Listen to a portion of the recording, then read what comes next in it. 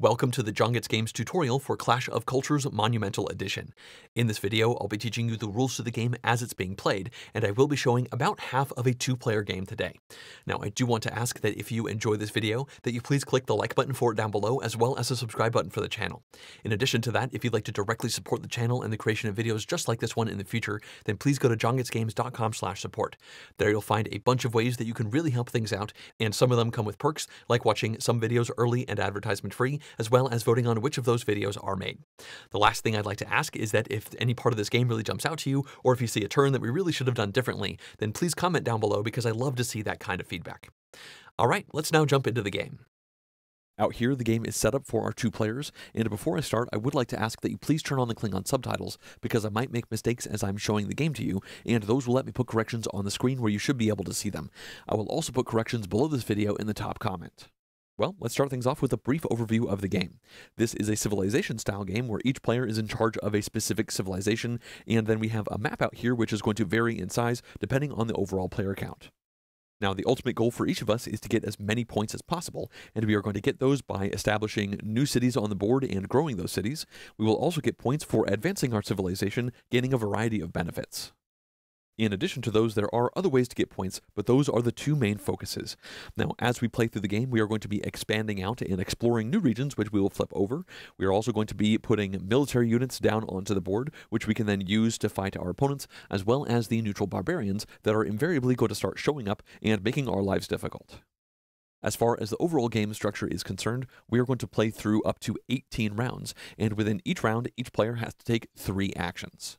After we finish three rounds, there will be a status phase where a variety of things happens before we move on to the next column where we once again perform three more rounds. As I said, on your turn you take exactly three actions, and there are six different action options that you can choose from. Now, I will go into the details of how all of those actions work, as well as everything else that you're seeing here, while we are playing the game. I do want to point out that we are going to play through 18 rounds, or the game will end after a set of three rounds where any one player is fully removed from the board.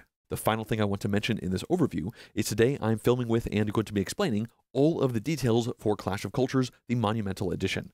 This edition has the original Clash of Cultures plus the Civilization expansion mixed into it to make this new edition, and all aspects of the game and expansion have been updated and improved for this edition. With this in mind, each player is going to take on a specific culture and can bring out leaders. We also have access to all of these pieces over here, which involves new military units as well as three new buildings, and there is also a new wonder in the mix. In addition to that, the barbarians also get access to these new military units, and there are some pirates that might show up in the water areas to make our lives harder. Once again, I will explain the details of how all of this works while we are playing, and on that note, I think let's now start the game. Now, we are going to be the starting player because we have this token in front of us, and with that in mind, we can now start the first round. As I briefly mentioned in the overview, the game does come with this round tracker, and we are now in the first round of this set of three rounds before we move into a status phase. Now, I do want to mention that there is an alternate round tracker on the back, which uses a variable endgame variant, and I'll explain the details of how that works later on. So we're starting the first round of the game, and within each of these, the player with the starting player token will take their full turn, and then all other players will take a turn going clockwise around the table. Once that's happened, we will then move on to the next round, so that means we can now take the first turn of the first round of the game. The structure of a player's turn is that we must now take exactly three actions, and there are six different actions to choose from. Now, the game comes with this great player aid, and it's double sided. This is for use with just the base game, and then you can use this side if you decide to use the extra expansion content that comes in with the Monumental Edition. We are playing with that stuff, so we can use this side, but it's worth noting there is no difference to the six main actions in the game, whether or not you're playing with the expansion or without. For our first action, I think let's advance. Now what this means is we are going to add a cube down to this area and then gain the advance shown, which means as a civilization, we are going to become stronger with new options and abilities. In this case, I think we want to advance into the arts, and whenever you advance, you have to spend two of your food, and you can substitute that for ideas as well as gold. Gold is a universal wild resource, so you can spend that for anything else, whereas ideas can only be spent while advancing. So if we had two ideas right here, we could spend those to advance. If we had it like this and that, we could spend one food and one idea to get to that two cost for the advancement action. Of course, we start with no ideas, but we do have two food, and let's now spend the two food in order to advance once. As I said, I think I want to advance into arts, and the way we do this is we take a cube from our event track at the top, It doesn't matter which one it is, and then we place it down onto the advancement that we want. Now, as a general rule, whenever you place a new cube down into one of these sections, the first cube must go on the top. After that, you can then advance it to anything that is below it.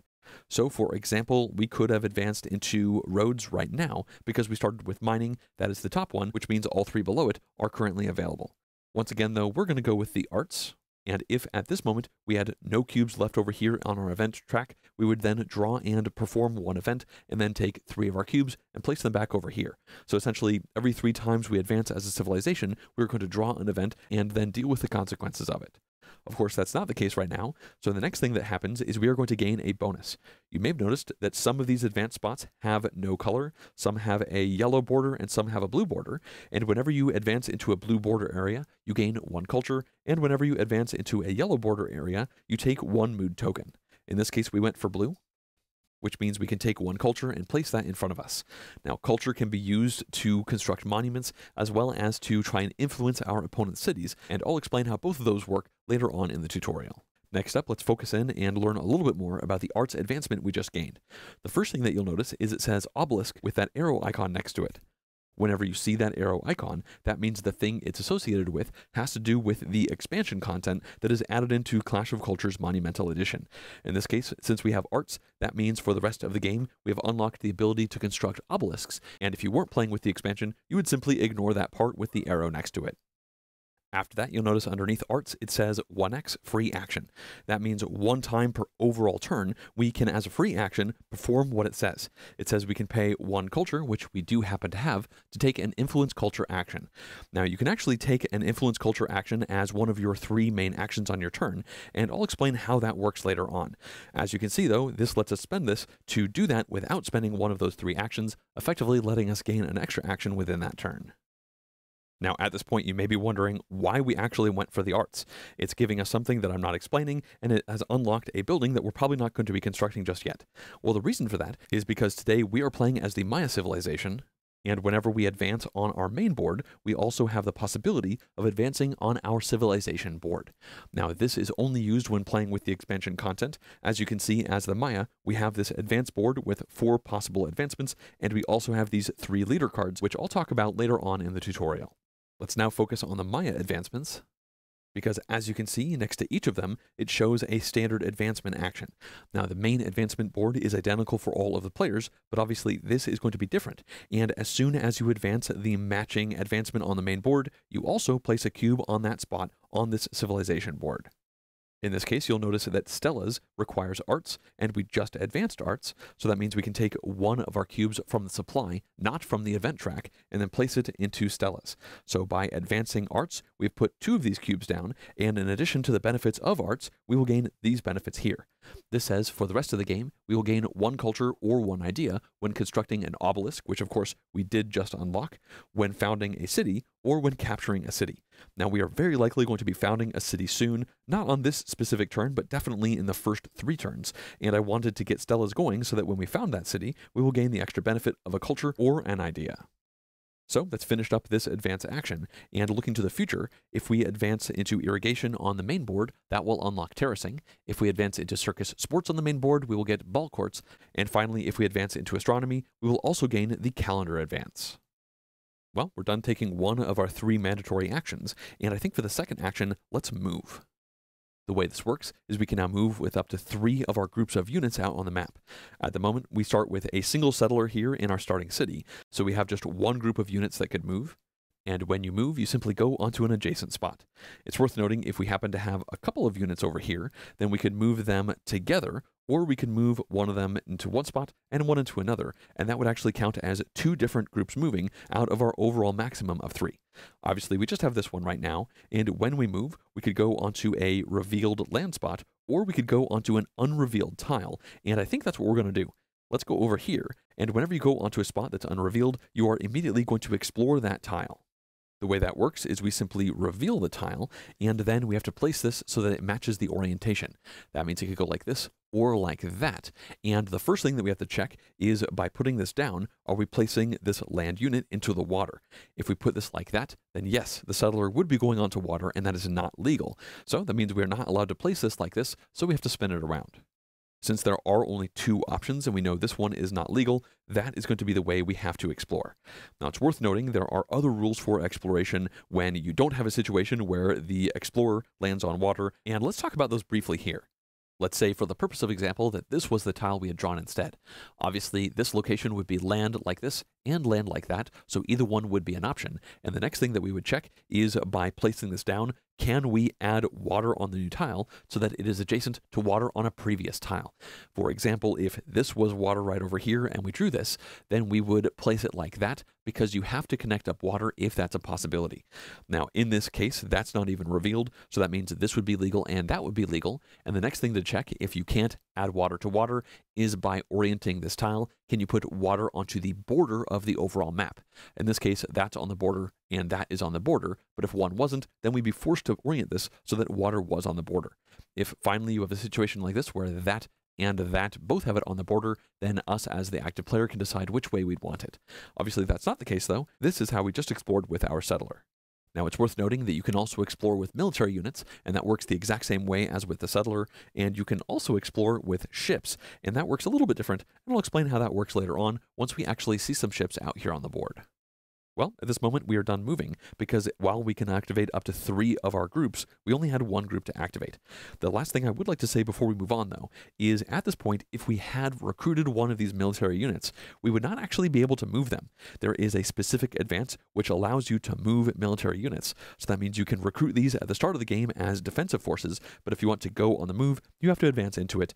That uses the tactics advance, and I'll explain the details of that later on, as well as the details of recruiting units into cities. With the move action done, we have one more action to take, and technically we could take another move action. If we did that, we would activate up to three of our groups again, and with that in mind, I'd now like to talk about the difference between the forest and mountain terrain.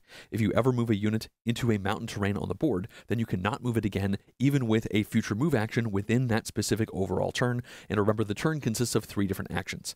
Now, if you move into a forest area, you can move later on in that turn, but you are never allowed to go into a battle for the rest of that that turn. So that means by going into the forest, you're going to be passive with that unit until the end of that specific turn. Whenever you have units enter spots with enemy units, that will cause a battle, and I'll explain the details of how battle works later on in the tutorial.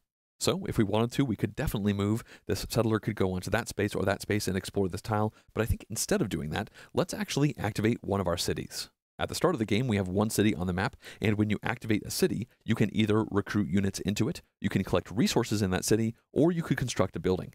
Now, for this turn, we are going to be collecting resources, and I'll explain how recruiting and constructing works later on. The way we gather resources is we start by figuring out the size of the city. Now, the size of a city is going to be the number of plastic pieces in it. This is the starting settlement for that city, so that's a 1. And if we happen to have an obelisk attached to it, which we could potentially build because of our advance, then that would be a size 2 city because there are two pieces of plastic.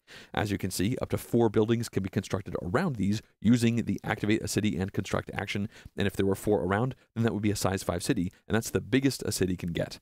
In this case, though, it's just a size 1. And then the size of the city will determine how many resources we gather.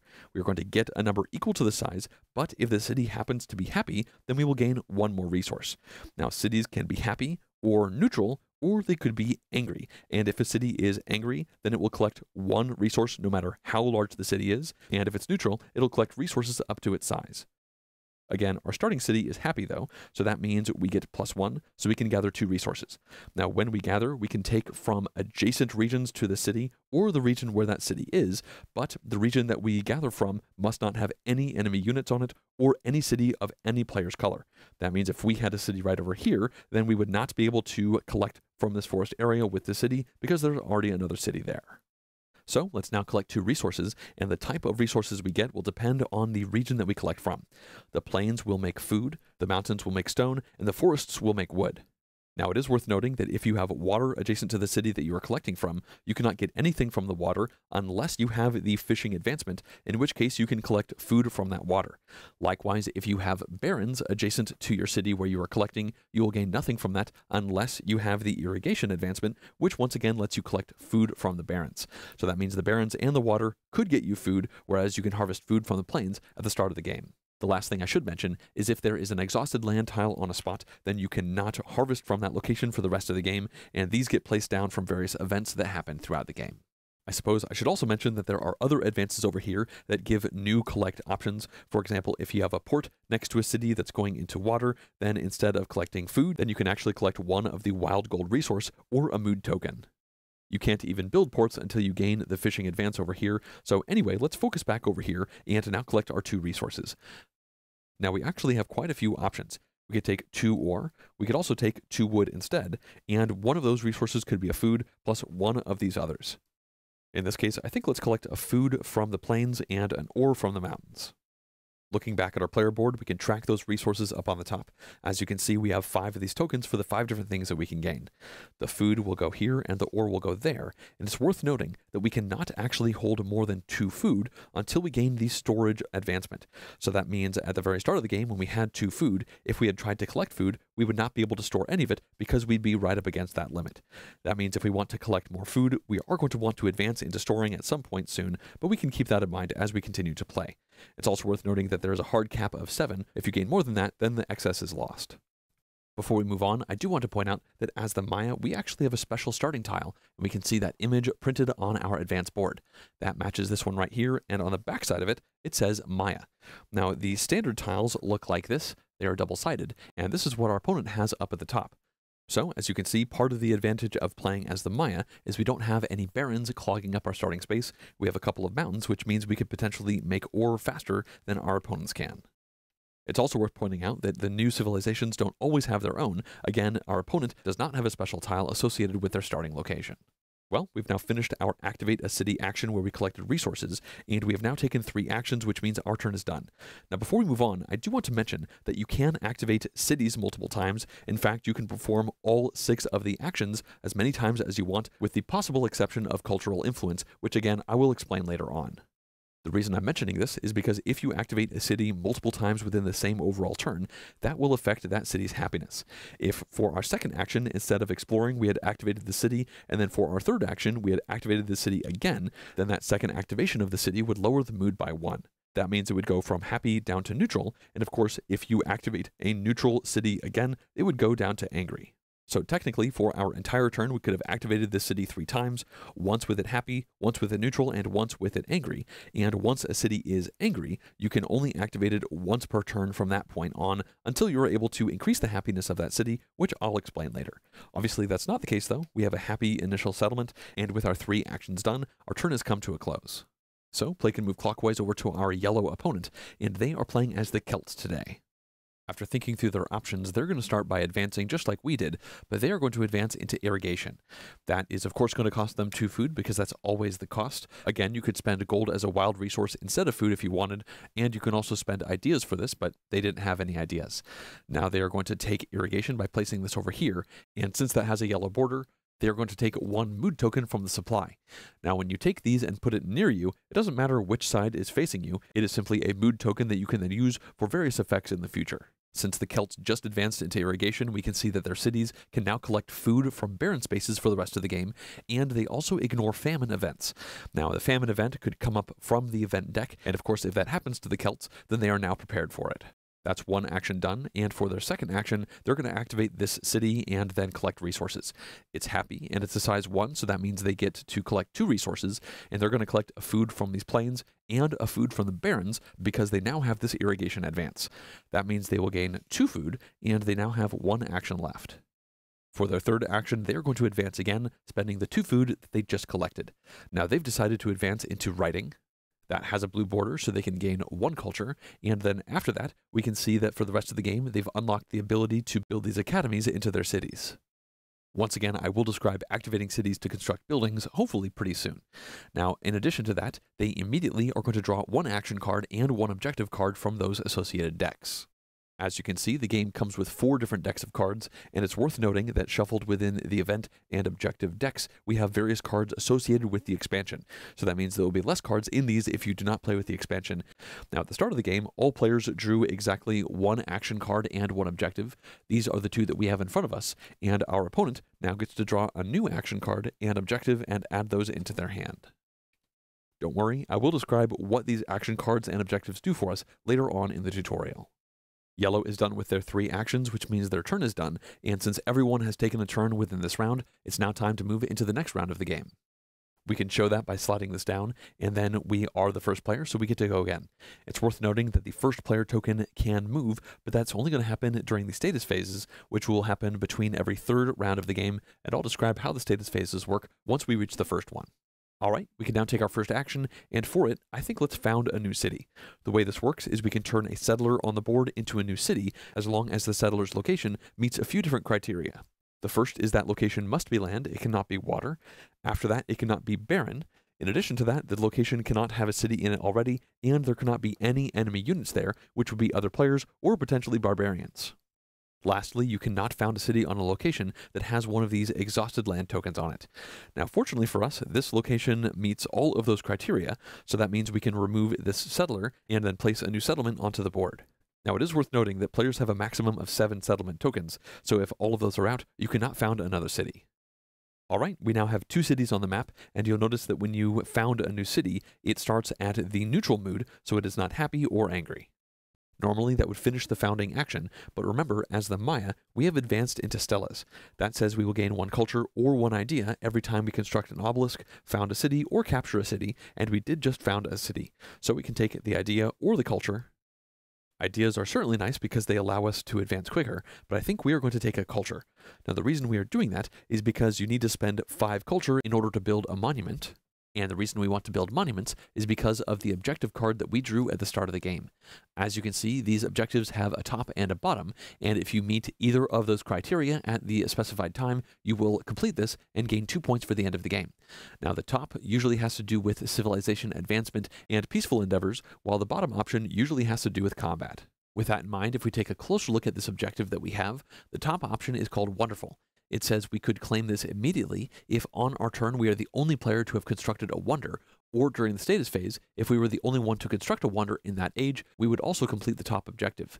Ages are those clusters of three rounds, so even if you get this later on in the game, it is still definitely something that you can work towards completing.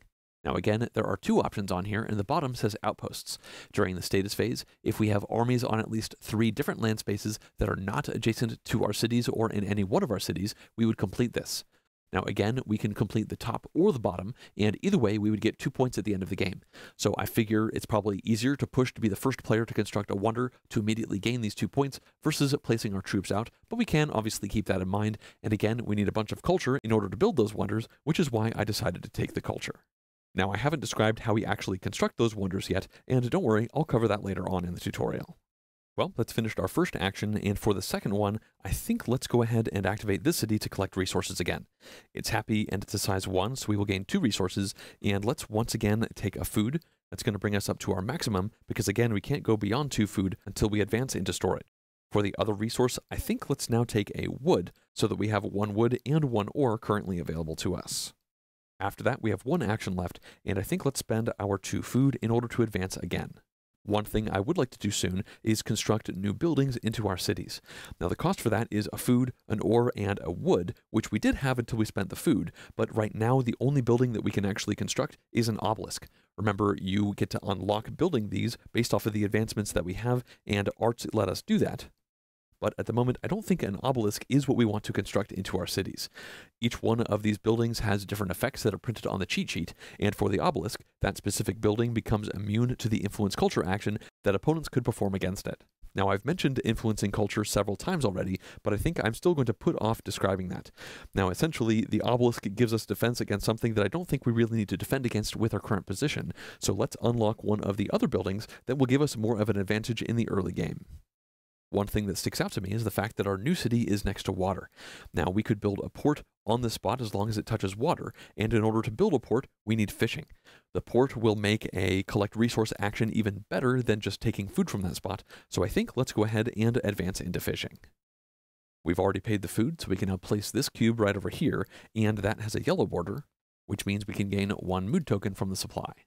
After that, we can see that fishing has unlocked the ability for us to construct ports for the rest of the game, and our cities can now collect food from one sea space. Alright, that's finished our turn. This means the Celts can go. For their first action, they want to move. That means they can move up to three of their groups, but they have just one, and they're going to move this settler right over here. So this can be revealed. It doesn't have any water on it, so they can put it like this or like that, and they've decided to go just like that. Now, if they wanted to, they could found a city right here, but remember, if you have cities next to each other, they cannot harvest from those spots. Because of that, they've actually decided to move for a second time this turn, and with that, they're going to go onto this spot here. So that means this tile can be flipped over. It does have some water on it, but of course, the settler is going onto this spot here, so no matter which way they put this, the settler could go there. So that means this is an option or that's an option. If this could connect to other water, they would be forced to do that, but they've decided they're going to leave it just like this. The reason they're going for that is because now there are two mountains next to this city right here, so in the future, they want to set it up to be able to collect multiple ore from that one city when they activate it. Of course, the settler is right over there, and then for their third and final action for the turn, they're going to activate the city to collect resources. And they are once again going to take two food. This time they have three different spots they could actually take that food from. So they will go up to two, and that's finished a pretty quick turn for them. Everyone has taken a turn, so we can move into the third round of the game's first age. Once again, we get to go first, and we do have two cities now in our area. Now, we can spend an action to activate either of these, and of course, we could activate both of them if we wanted. We only have the happiness penalty when we activate the same city multiple times within a turn. On our previous turn, we specifically advanced into fishing so that we could build a port over here, and I think we still want to push towards that. In order to build any of the buildings, we have to spend an ore, a wood, and a food, and we currently don't have any food. So I think for our first action, let's activate this city to collect, and just like we've seen before, we can collect it twice. We certainly want a food to be able to construct that building, so we will take a food, and then our other option is going to be wood or an ore. I think we'll take the ore, and now we have two more actions for our turn.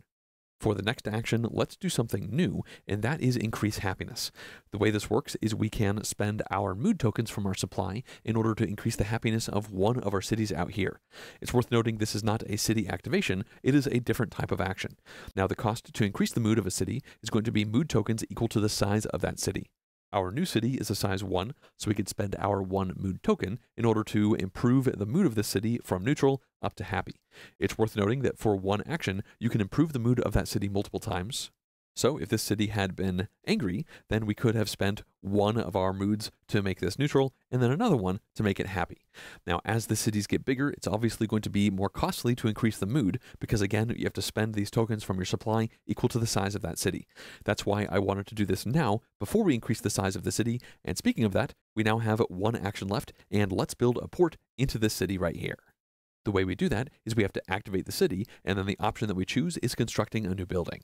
As I've mentioned before, the cost for every building in the game is going to be one food, one wood, and one ore, and then you can only construct buildings that you have unlocked with your advancements. Because of that, we can build a port or an obelisk, and obviously we want to construct a port. Now ports are a little bit special. They must be built into a city where they can place this port down so that it is going into a sea space.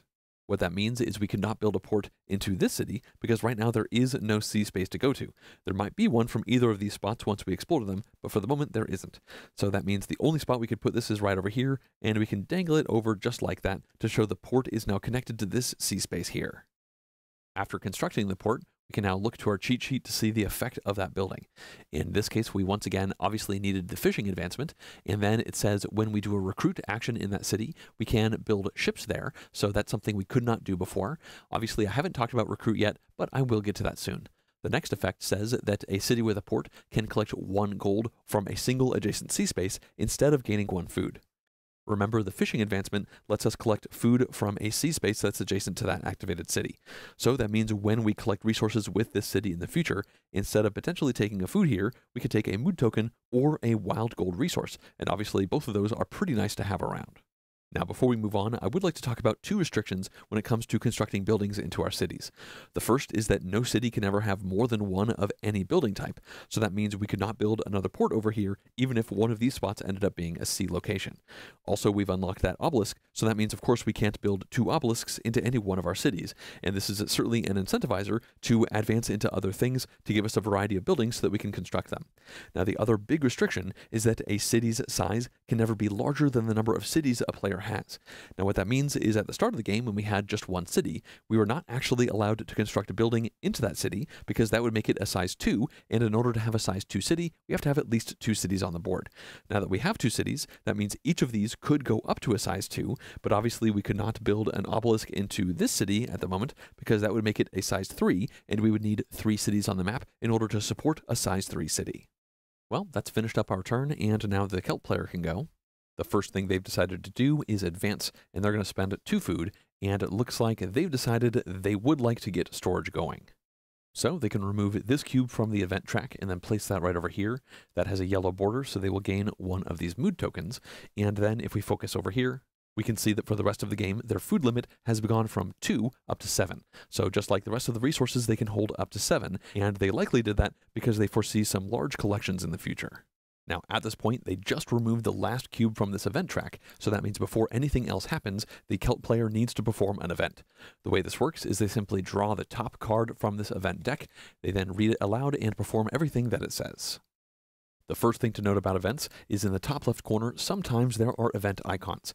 If there is, then you perform that before you do anything else on the card, and in this case, the event has a Barbarians spawn icon. So it's now time to spawn Barbarians out on the map. Now, there are two steps to a barbarian spawn event, and the first one has the active player taking a barbarian settlement, and they place it down onto a land space on the board that is exactly two land spaces away from one of their cities, and at least two spaces away from the rest of their cities. If that's not possible, they have to place this down adjacent to one of their cities, and in any case, the space must be at least two spaces away from all other players' cities. Now, at this point, this could be placed here or there because each of those are exactly two spaces away from one of their cities. In fact, they could place it here or on that spot as well. Of course, that's not a land space, so that's not a legal option. Now, in this case, they've decided to place the barbarian settlement right over here. And then the second step of a barbarian spawn action involves taking a barbarian infantry into a barbarian city of the player's choice. Obviously, at the moment, there is only one barbarian city out here, but if there were multiple, including some way on the other side of the map, the Celt player could have placed this infantry down over there. Now, these barbarians are going to make life hard for us, and obviously, if they could have spawned this infantry closer to us, they would have, but it is going to go over here. Now, when you're playing the game with expansion content, that will unlock the cavalry as well as the elephant units that the barbarians can use. The way these come out is if a player spawns a unit into a barbarian city that has at least one infantry in it, then that player could, instead of bringing out another infantry, bring out a cavalry or one of these elephants and place it into that city. Now, I'll explain the difference between these units when we talk about combat later on in the tutorial. Well, that's finished the Barbarian Spawn action, so now the rest of the card will happen. This event is called A Splendid Year, and it's pretty simple. Many of these events have a lot more text, but this one simply says the active player gains 3 food.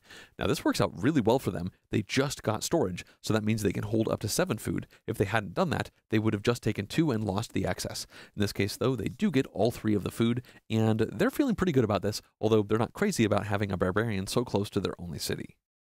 After that, the event can be discarded, and then the yellow player can take three more cubes from their supply and fill this event track up, so they will perform another event once all three of these have been placed. After that, the yellow player can take their second turn, and they are going to found a new city right over here. This settler is going to go back to their supply, and they can put a new city on that spot, and of course it starts at the neutral mood. Now that they have two cities, that means they could construct a building into either of those, but they don't currently have enough resources to afford it. With that in mind, they've decided to activate this city to collect. Now, normally they would just take two, but at this point, they've decided it's time for them to reveal one of their action cards. They've been holding on to this for the right moment, and this says Mass Collection. It says they can play this card when collecting resources, and it says they can collect two more resources than normal, but they still can only take one from a single space. It also says this cannot be combined with the Focused Collection or another Mass Collection card, because of course you could potentially have several of these action cards in your hand, and combining those would be too powerful. Now, each of these action cards has two sides to them. The bottom part can be played in combat as long as you've researched the tactic advance on your player board. In this case, no players have the tactic advance just yet, but if they did, then they could play this card in combat to help that combat out. Obviously, in this case, they are going for mass collection, so that lets them get two more resources. Normally, they'd get two, but now they can take four from the options around this city. Once again, they spent an extra action to move this city farther away so that they would have even more options.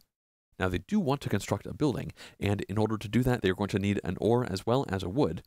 and of course the wood would come from there, and the ore could come from either of these mountains. Now they can collect two more resources, and they do have enough for one building.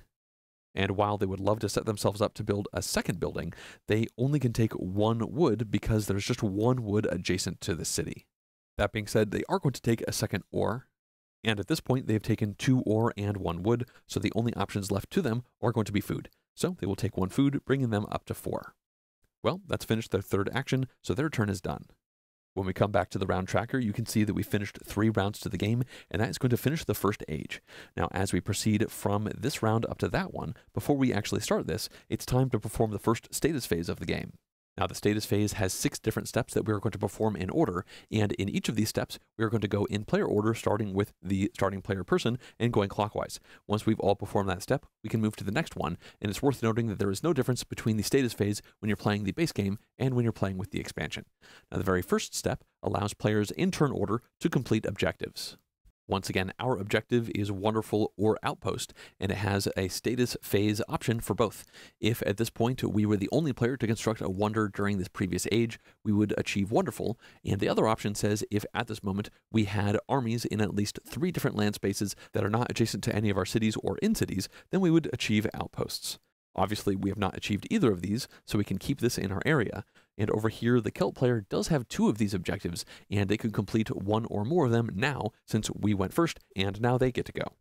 Despite having two options, they have not achieved either yet, so that means no one is going to be claiming an objective. After that, the next step allows all players to receive a free advancement. We once again do this in player order, so that means we get to take a free advancement, and we take a cube from our event track and place it onto our board. Obviously, we have a bunch of options, and I think the one I'd like to go with is going to be math. Now that is going to get us one culture, and we need culture in order to construct some wonders. And then math also does a couple other things for us. When we focus in, math has unlocked the observatory if we are playing with the expansion, and we are indeed playing with that today. If we look at our cheat sheet, the observatory is right over here. It, as always, costs the same amount as everything else, one food, an ore, and a wood, and it says that when you build this, you immediately gain one action card into your hand. So that is certainly a nice option that we can have for constructing in the future. Now, the main reason we are going for math, though, is because this effect says that engineering and roads can be bought at no food cost. When we focus out a little bit, you'll notice engineering is here and roads is over there, and engineering is required if we want to construct a wonder. It says we would immediately draw a wonder card, and then we may construct a wonder into one of our happy cities. Now that means we definitely want to advance engineering in order to construct that wonder, so I figure going into math with this free advancement is great because now we can advance into engineering without spending any of our food. This also says we can advance into roads at no food cost, and this makes us more flexible out on the map. When we focus in, roads would get us one culture, which we might need to construct a wonder, and then it gives us this effect here. It says that while moving, we may ignore terrain and or move two spaces if moving into or out of a city, but this would cost a food and an ore per group that we activate it for. Spending food and ore is significant, but moving two spaces for one action is also a very significant effect. Obviously, we don't have engineering or roads just yet, but we're setting ourselves up to be able to get those without paying any resources. Now, at this point, we've pulled our third cube from the event stack, so it's now time for us to perform an event. So we can draw from the top of the stack, and we got a wildfire. Now, before we actually perform this, we do get to gain two gold, and that's pretty great. Gold is wild, so we go up to two, and I think the bottom part's going to be bad considering the top part was very good for us. If we look at the specifics here, it says if we have any cities on forest spaces, we have to select one of those cities. We do currently have a city over here, so we have to select this one. And then it says we have to reduce the happiness by one step in that city and in any player cities on forest spaces connected to that city by a continuous chain of forest spaces. Fortunately for us, we don't have any other cities in this contiguous forest, so the wildfire is going to burn through here and lower the happiness of this city down once, and it won't hit anything else. It says down below if we did not have any cities on forest spaces, then we would have lost one wood if possible. We currently don't have any wood, so that would have been pretty great to happen. But either way, in this case, it looks like we are a little bit penalized, but gaining that 2 gold was certainly a nice effect, and this event could have been much worse. That event is done, so we can refill our event track. And now the yellow player can take a free advancement, and they are going to go for public education. That has a yellow border, so they will gain one mood token. And then when we focus in, it says that whenever they do a collect action, one time during that collect, they can gain an idea if the city has an academy. Currently, they haven't built any academies, but they do have the option to. So by going into public education, it feels pretty likely that they're going to build at least one academy soon. After that, in player order, we all draw one new action card and one new objective. Our action card is Inspiration. It says, as a free action, we could duplicate an advance that another player has without spending any food, but we have to have a unit within two of one of their cities. It appears our opponent has a city that's three away. So if we got a unit to here or closer, we could use inspiration to get a free advancement that they have. That does seem pretty nice. The bottom is only usable in combat if we have the tactic advance. Now, the objective has two options as normal. The top is Seafarer, and it says during the status phase, if we have all four of the maritime advancements, we could do this. The bottom one is Aggressor. It says you can complete immediately after eliminating at least two army units in a battle you started against another player. Well, we already have one advancement in Maritime, so we just need three more to complete Seafarer, and I think that might be something we're going to try to work towards. Now, we got this action. We haven't actually looked at the other action that we started the game with. This one is Tech Synergy, and it says, as an action, you can buy two advances in the same category. For both, you use cubes from the supply, not the event tracker. Now you have to actually pay for both of those, but it lets you have a double advance, which is effectively like a free action. We just haven't been in a position where we had enough food to do that. Of course, the problem there is we don't have storage, so we are capped at two. Now we can use ideas or gold in order to do an advance, and we do have two gold. So that means if we got a couple of food, then in the future we could use this tech synergy, spend the two gold and the two food to advance twice if we wanted to. It is nice that when you use this, you pull from your supply, not from the event tracker, especially if you are worried that an event could hit you at a particularly vulnerable moment. Now obviously we don't have this food just yet, and now the yellow player can draw a new action and objective card. Those will go into their hand and then the next thing we can all do is optionally raise one of our size 1 cities. Now we have one size 1 city, so if we wanted to, we could raise this. That means we'd put this back into our supply and we would gain 1 gold. Now that doesn't seem great, but we could use this later on in the game if we have a city in a position that we don't like and we'd rather found it into a new location using a settler. One reason to do this might be if you think an opponent is about to invade and take that city over, and another reason I suppose would be if you really need that gold, although that does seem like a pretty costly thing for one gold. I think it's pretty obvious that both of us are going to pass on optionally raising one of our cities, so now we can go into the fifth step of the status phase, where we all have the option of changing our government. With this in mind, let's focus back on our advance board and specifically look at the bottom three categories. Now, these are special. Each one of them is a government type, and you'll notice they have a different background. Now, you are only allowed to have advancements in one of these government areas at a time. So that means doing something like this would be illegal. Now, the next thing to note is that you can only advance into a government once you have the prerequisite for it. That is going to be the one just above it in the next section. So in order to start democracy, which would be voting first, we would need philosophy. In order to go into nationalism, which is the first one for autocracy, we need a draft. And finally, if we wanted dogma, which is the first for theocracy, we would need state religion. Obviously, we don't have any of those, but for example's sake, let's pretend that we had this situation right here. Now, at this moment during the status phase, we could change our government. The way we do this is we have to spend one culture as well as one mood from our supply, and then we take all of our tokens from one of our government and we move them all to a different government that we had the prerequisite for. Remember, you always have to have the top one first, and then you could choose any of the bottom ones down over here. This is nice because it means you don't have to commit to a government type as you're playing the game. You do have options to change if the situation on the board changes for you. Now, obviously, we don't have any of these, and neither one of us is in a position to change a government. The final thing we have to do during the status phase is figure out who is going to get the starting player token for the next age. The way we do this is we count up the number of culture tokens and mood tokens that we have, and the player with the most total is going to take this. We have three total, and our opponent has four, so that means unfortunately they are going to take the starting player token, and they will go first for the next three rounds. It's worth noting if there was a tie and one of the tied players was the previous starting player, then they would get to choose who from the tied players would be the starting player. Lastly, if there was a tie and the previous starting player was not a part of that tie, then the starting player token would move to the tied player that is closest in clockwise order from the previous starting player. Now, we don't have a tie in this situation. Yellow has a majority of them, so yellow now has that starting player token. This means we've completed the first status phase of the game, and it's now time to have the first round of the second age of the game. Now, before we get to that, I'd like to talk a little bit more about how the game will end. Remember, each of these status phases has six steps to them, and after we complete the first step, where we can optionally complete objectives, we then check to see if the game is over. If at this point we are in the final status phase, then that will end the game. And the other thing is, if during a status phase in the middle of the game, any one player has no cities on the board, then that will trigger the game end condition. So if any player gets eliminated, the game will end shortly thereafter. Before we move on, I would like to talk about three variants that you can use to change how the game will end. The first is you can simply play the game with a short game variant, where you end the game after four full ages. In this case, you actually start the game with two settlers on the board instead of one, and during each of the status phases, you get two free advancements instead of one. The next two variants involve the back of this tracker. The first of these is called Roll for the End and involves these red numbers. Now, if you are starting a round that has a red number, then the starting player is going to roll one of these dice. This is a d12, but it has two of each symbol, so it's effectively a d6. And if the rolled number falls in the range depicted, then instead of playing the round, you will immediately go into the final status phase before the game ends. So if a 6 was rolled right here, that would end the game, and you would play through 5 less rounds. Obviously, the number that you need to end the game is going to get bigger as these progress, and it's possible you might play through all of these ages.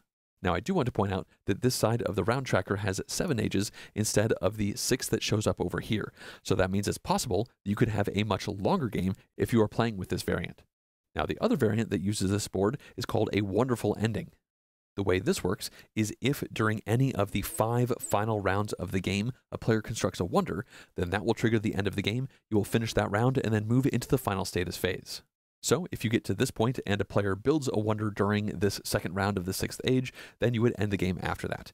So just like the other one, it's possible this could be an even longer game if players don't construct a wonder until you finally get to here. Obviously, we're not using either of these variants. I just wanted to talk about these a bit so that you could see how the game could be shorter or longer if that's what you'd prefer. Well, it looks like Yellow can now take their turn. For their first action, Yellow is going to activate this city, and they are going to construct a building. Currently, the only building they can construct is Academy, which they unlocked by advancing writing. And remember, normally this would cost a food, an ore, and a wood, but they actually have a card.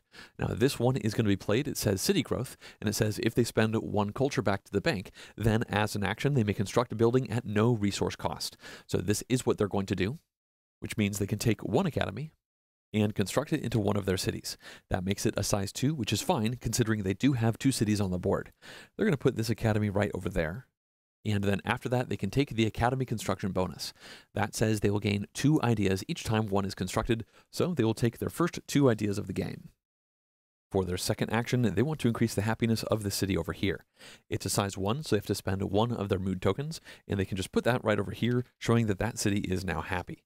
Now, they do have one more action they can take, and with it, they're going to activate the city. Remember, increasing the happiness is not a city activation. If they activated that city, that would be the second time in this round, which would lower that city's happiness, and that's not something they want to do. So they'll activate this city for the first time in the round, and they're going to build an academy into that city as well. That's going to cost a wood, an ore, as well as a food, and they can place that right over here, and that is also going to get them two more ideas, which means they're now up to four. All right, that's finished Yellow's turn which means now we can go. I think to start things off, let's use this tech synergy. Remember, this card says as one of our three actions, we can buy two advances from the same category, and I think let's go ahead and buy engineering and roads. If you remember from before, our math advance says that engineering and roads will cost no food, so we can, as one action, do both of these and not spend any resources. That card says we place cubes from our supply, not from the event track, so we're going to put this one right over here on roads. That has a blue border, which means we can take our fourth culture of the game, and then for the second advance, let's go for engineering. The effect of engineering says we immediately draw one wonder card, and now for the rest of the game, we may construct wonders into our happy cities. So we can draw the top wonder card from the deck, and that is the Great Arena. Now, as you can see, these are expensive to build. This needs 5 ore, 4 wood, 3 food, and 5 culture tokens. In addition to that, we need the Circus and Sports Advance, which currently we don't have, but we do have Arts, which means at any point we could advance into Circus and Sports. Now, looking at these resources, in order to have three food, we would need storage, but of course we could use gold instead of a food to make up for that. Now, we don't currently have the culture, and we certainly don't have the ore or the wood, but now that we have this in our hand, we can work towards it. Now, it has a special effect. As you can see, once we build this out, it says we may spend our culture as if it was mood tokens and vice versa, except when spending culture to construct wonders. It also says that after any combat roll, we can spend mood or culture to add plus one hit once per land battle. Now, I'll explain how combat works later on, but for the moment, we can just keep this in our hand and continue to work towards being the first civilization to construct a wonder. Well, that's one action done, and I think for our second two actions, let's activate each of our cities to collect resources. It really is a shame that wildfire knocked the happiness of this city down one, because remember, when you collect resources, you get a number equal to the size of the city, plus one if that city is happy. So that means this is going to collect two resources, whereas it could have collected three if it had continued to be happy. Of course, that wildfire did give us two gold, which is nice and flexible, but also we now need two mood tokens in order to increase the happiness of the city because it's now a size 2. So let's activate this city and collect two resources. The first thing we can do is collect from this sea space. And since we have a port, that says instead of collecting a food from there with our fishing, we can take a gold or we could take a mood token. Considering I think we want to make this city happy again, I think we should collect a mood token. And then let's collect food from this plains here. We have one action left, and let's activate our other city. And with it, I think let's collect a food from the plains, and then one wood from this forest here. All right, that's finished a relatively simple turn for us. This means the round is over and now yellow can go again. For their first action, they've decided to advance. They're going to spend two of their ideas, and then they're going to advance into tactics. That has a blue border, so they'll get a culture. And then we can see that that unlocked the ability for them to construct these fortresses out into their cities. In addition to that, they may now use the tactic bottom part of action cards in their hands. There is one more benefit, and it says that they can now move their army units. Up to this point, no one has actually constructed any of these, but until you have tactics, you can only recruit those army units into your cities. They cannot move out until you have tactics. Before Yellow moves on, they've also gained a civilization advancement because their tribal warfare activates when they advance into tactics. So they can place this cube from their supply over there, and it says that now for the rest of the game, when they do a combat roll versus the other players' armies, they add one hit for each barbarian city that is within two spaces of where that battle takes place. Now, I haven't talked about combat just yet, but as you can see, the Celtic player actually gains benefits for fighting near those barbarian cities. Quickly glancing at the rest of these advancements, you'll notice this barbarian symbol shows up in all of them, and that means the Celt player interacts with the barbarians more than most other civilizations. Well, Yellow's finished one action, and for their second one, they are going to activate this city and collect resources. It's happy, and it has a size 2, so that means they get to gain 3 resources total. And they've decided to take one food from the plains. They will also take an ore from this mountain right here. And lastly, they will collect wood from this forest. After that, for Yellow's final action of their turn, they are going to activate this city, and they are going to do the first recruit action of the game. When you do this, you can recruit a number of units up to the size of the city, plus one if that city happens to be happy. So since this is a happy city, that's going to be the size of two plus one, which means they can recruit up to three units. Now it's worth noting that there is a stacking limit on every spot in the game with regards to army units. These settlers over here aren't army units, but everything else is, and what that means is no player can ever have more than four of their army units on a given space. So the yellow player can recruit up to three times into this city, and they've decided to start by recruiting one settler. As you can see, the cost for that is going to be two food, and I do want to point out that since this doesn't have that arrow on it, this is obviously not an expansion piece, and you'll notice the costs and benefits for the non-expansion pieces do not change when you use the expansion. So they can spend two of their food, and as you can see, the settlers do not interact in combat, and as an action, they can found a city, which of course is something that we've seen already. So that means yellow can spend two of their food, and place a settler right over here, and of course they can recruit up to two more times. In this case, they've decided to recruit two infantry. Each of them is going to cost one food and one ore, and as you can see, infantry will roll one die in combat, and they also have a clash ability which gets them one hit. Now, I'll explain how that works soon enough. Now that we have some army figures on the board, it's possible we might see some combat soon. In this case, though, they're going to spend two food and two ore to place two infantry right over here. All right, that's finished their recruit action. And before we move on, I just realized that for the second action, when they collected over here, there is an academy in that city, which means their public education advance should have activated. Once again, that says that once per turn, when they do a collect action in a city that has an academy, they can gain one idea, so they should have one more idea. All right, yellow is done, which means we get to go again. And considering we are going to need circus and sports in order to construct this great arena, I think let's start by advancing into that. That is going to take two of our food. We can then place this right over here, and it has a yellow border, so that will get us another mood token. This means we have two mood tokens, and we've also gained a new effect. This says that as an action, we can pay one or two of our culture in order to increase the mood of one of our cities by one or two steps. Remember, normally when you do this, you have to spend a number of mood tokens equal to the size of the city to increase the mood, which is certainly going to be effective as our cities get bigger. Speaking of that, I think we should now make this city happy again. Now what this means is instead of spending our two mood tokens, we can spend one of our culture. But remember, we need five culture in order to construct this great arena. So I think we are not actually going to use the circus and sports effect just yet. Let's use both of these mood tokens. And obviously, as these cities get bigger, we will likely use culture to increase the happiness instead. So the city is now happy, and for our third action, let's activate this city and collect resources. Now this port lets us take a gold or a mood token, and I think we're going to take the gold for some extra flexibility. Now this is a happy city of size 2, which means we can collect up to 3 resources. And for the other two, we can either take two wood or a food and a wood. I think we want to do the split, so we can take a wood and a food, and that has finished our turn. This means we can move into the third round of the second age. The yellow player once again starts, and they've decided they want to spend their first action moving. They are going to activate over here, and as you can see, this is one group of units. Now, you can move up to three groups, and what that means is if they move all of these in the same direction, that would be one group, but if they split this up, then that will turn into multiple different groups. In this case, they want to start by making this settler a solo group. They're going to split off and explore onto this spot here. So this can be flipped up. Oh, and that's interesting. So this could go like this or like that. And obviously they can't go there because their settler would be in water and they also need to match up water if possible. So there are a couple of reasons why this has to go just like that. And it appears there's a big swath of water that's almost cutting this landmass in half. After that, I'm feeling even happier about the fact that we have a port over here. It probably makes sense for us to maybe get a ship because ships can move very quickly through water, and I'll explain how that works later on. Now, it's entirely possible that when this tile flipped, it could have been something different that did not connect these up, but obviously this is an advantageous position for us to be in once we actually build some ships. Well, the yellow player can move up to two more groups, and they've decided to move both of these infantry over there. Remember, you can only move army units once you have the tactics advance, and the yellow player picked that up on their last turn. It appears yellow is going over here to defend their area from these barbarians that might be advancing in here soon.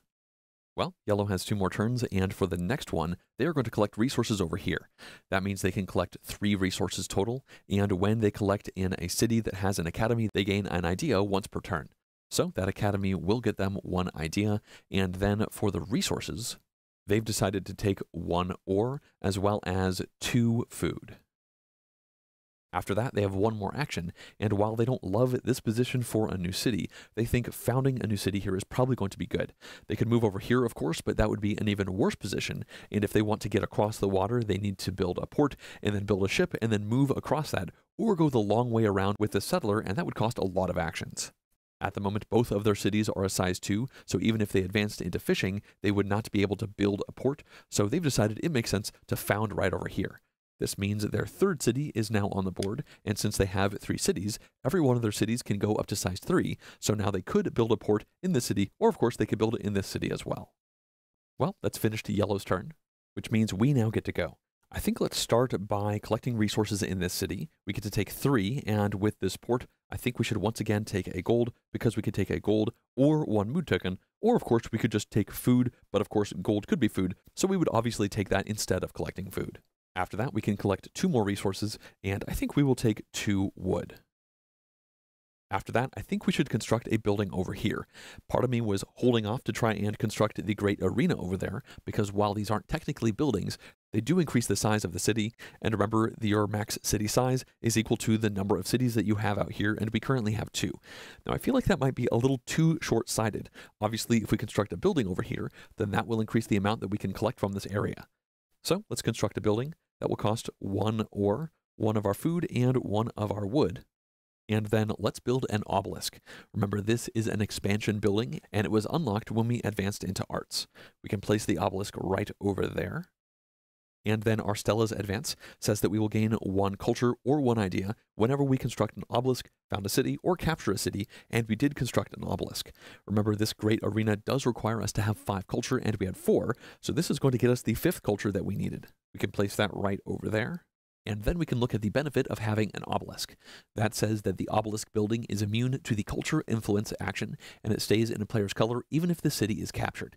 Now, on that note, I know I've mentioned this many times, and I think now is a good moment to explain what the influence culture action is. This is one of the six action options that you can take on your turn. And the way it works is you start by selecting one of your own cities, and then you are going to try to influence an opponent's building in one of their cities from that starting city. So for example, if we wanted to take an influence culture action right now, we could start with this city or that one, and we'd maybe go with this one.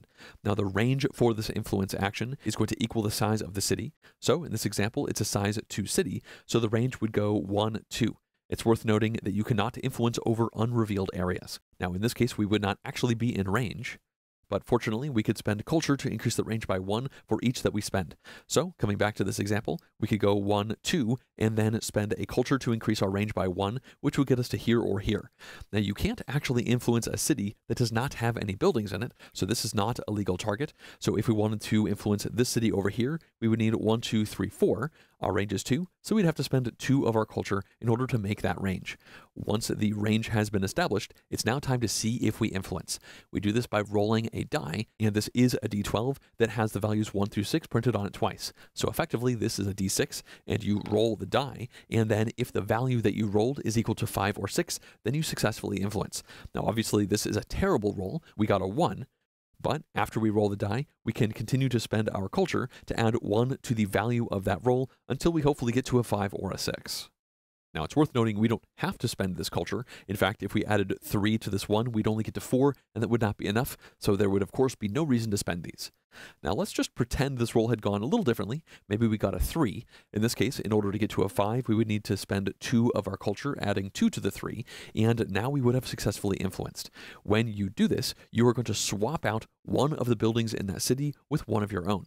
So that means we would influence this academy. This would go back to the yellow player, and we would place one of our own academies down over here, even if we don't currently have the advance that would let us construct academies. Now, the yellow player does still control this city, so that means for all intents and purposes, they have an academy over here, but we have influenced that academy. So at the end of the game, we are going to score the victory point for this academy instead of the yellow player. Now, I haven't talked about final scoring just yet, and I will get to that soon, but simply put, every piece in one of your cities is worth one victory point. So yellow had a two point city over here when that academy was theirs, and now we are going to take that one point away from them. So that's effectively a two point swing on the yellow player for end game scoring. Once again, this is still technically their academy since they have the city out here for all other non scoring purposes.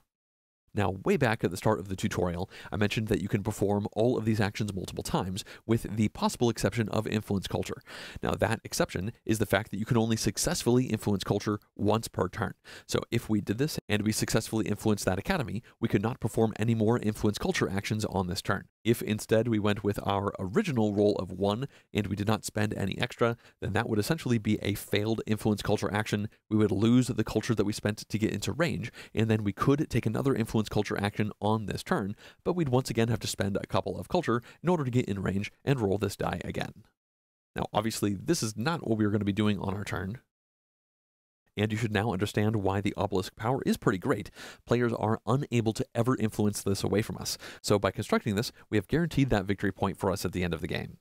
Now, I haven't talked about combat and taking over cities just yet, but I do want to point out that if somebody was to come over here and take the city over, this would maybe go away and it would turn into a barbarian state if the barbarians attacked, or maybe if the yellow player attacked, it would become yellow. And in this case, the obelisk would still stay as ours. Normally, when you take over a city, you swap out the color of all of the matching buildings to the city that was taken. So, in a different example, if the yellow player took over this city, then they would also take over the sport and swap it out for one of theirs. Once again, I'll explain how we take over cities soon when we cover combat. I suppose the final thing I should note is that if an opponent ever takes over a city and swaps out the center with their piece, they swap out all of the buildings that match the color of this piece, but not the buildings that don't match that color. So if this was a three player game and we had another player take this over, we would actually get to keep this here, while all of the other yellow buildings would turn into the color of that player who invaded. Well, we have one action left, and while we still do want to construct that wonder, we are going to need a third city in order to have space to make that happen, and I think that's fine. Focusing on getting a wonder out too early is probably going to hamper our overall engine building as we go through the game. Now, I don't think I want to activate either of these cities again, because then they would lose happiness. We do have circus and sports, so we could spend a culture to increase the happiness, but we also have to spend an action to do that, and I don't think that makes sense. Instead, I think let's do an advance. That's going to cost two food, so we can spend one food and one of our gold. And there are two advances that I'd really like to do. One is medicine, that would get us another culture, and it says after we recruit, we would get one of our spent resources back. Currently, we don't have any units out, so gaining a one resource rebate does seem nice but at the same time, irrigation also seems great for a reason that might not be apparent. Now, we know the yellow player has this already. It lets you collect uh, food from barren spaces, and currently none of our cities are next to barren spaces. But this also ignores the famine event, and more importantly, that activates the terracing advance on our Maya card. Now, I think we are going to go with irrigation, so we can place this over here. That yellow border will get us a mood token, and then we can place a cube down onto terracing from our supply. Now, this is important because it says our cities may now collect ore, wood, or food from mountain spaces. Our starting city is next to two mountain spaces and just one food, so that makes us very flexible with the resources we can harvest from there. I don't think we desperately need tons of ore in this moment, although technically we do need five in order to complete this wonder, but completing that is still a ways off. The other effect of terracing says that our settlers and our leaders may now ignore mountain terrain penalties. Normally, if you move onto a mountain, then you cannot move anymore for the rest of the turn, but of course we now get around that with our settlers and our leaders.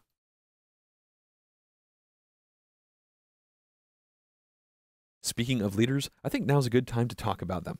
Now, leaders come with the expansion. Each one of the civilizations has three leaders that you get at the start of the game. And when you do a recruit action, you are also allowed to recruit a leader. The cost for this is always going to be one culture and one mood token. And as you can see, leaders are going to roll one die in combat, which I'll explain soon, and they all have a clash ability in combat, which I will also explain. Now, whenever you recruit a leader, you're going to place your leader token out into the city that just did the recruit action. Each player has only one leader token, so that means after you have recruited one of these, you can put it on top of your civilization card, and then if you want to recruit a different one, you will actually have to permanently remove this from the game to place the new one out, and then move this to the city that is recruiting the new one. Now, these leaders can die in battle, and if a player successfully defeats an opponent's leader in battle, they take the card, and that card will be worth two points to them at the end of the game game. Now, the main reason you want to actually recruit these leaders is because of the effects that each one of them has. They often have a combat effect for battles that they are in, and they also often have an effect that applies to locations they are in for other situations. For example, this leader over here can conditionally cancel a hit when they defend a city that have an obelisk in their color, and then as a separate benefit down below, it says that when constructing a building into his city, you pay one culture to reduce the cost by any two resources. So that's a nice discount for constructing buildings. This one adds two hits in combat when fighting within two spaces of one of our cities. And then she also has a beneficial effect that happens once she moves into an opponent's city and captures that city. So if we think we're going to capture a city, it might make sense to recruit this leader and then send them in with that attack to gain the benefit. Our last leader over here gives us a combat bonus depending on the size of the city that they are attacking, and then the other effect says that after we construct a building or a wonder in the city where this leader is, we may take an influence culture attempt in this city as a free action, and I did just explain how that influence culture action works. Now, once again, every civilization comes with these four specific advancements and three leaders that are specific to that civilization. Well, that's finished our turn, and the round is also over, so before we move into the third age, we have to, of course, perform a status phase. In player order, the first thing that we do is complete objectives, and it looks like the yellow player has completed one of their three. This is called Academic, and it says during a status phase, if they own more cities with academies than any other player, then they can achieve this and gain the two points. The yellow player currently has two academies and we have none, so obviously they have more. So they'll get these two points. But before we move on, they could have also achieved this objective through Conqueror. That would have happened immediately after they captured another player's defending city, meaning a city with an army and or a fortress in it. Now, once again, we will talk about combat probably very soon, and for now they have completed this, so they can put it face up in front of them, where it will be worth two points at the end of the game. That's the only one yellow can do, so now we can complete an objective if we want, but unfortunately we're not quite there yet. We haven't constructed a wonder, and we don't have all four of the maritime advances. In fact, we still only have one of those. So we can hold onto these and move on to the next step, where in player order, each of us is going to gain a free advance. The yellow player gets to do this first. After considering their options, they would like to take their free advance over here in economy. They don't have any over here, so they must go into the top. That has a yellow border, so they will gain another one of these mood tokens. They actually have three of those now. And then, as a benefit, they have unlocked the ability to construct these markets when playing with the expansion components. When we focus in, the bartering advance also gives them access to a once per turn free action that lets them discard a card to gain one gold or one culture token. Well, it looks like yellow has once again cleared their event track, so it's time for them to perform another event. They can draw the top one from the deck, and this one is a great merchant event. But before we do any of that, it says Barbarians move, and that is the icon for that movement in the top left. When Barbarians move, there are three steps that have to be followed in order.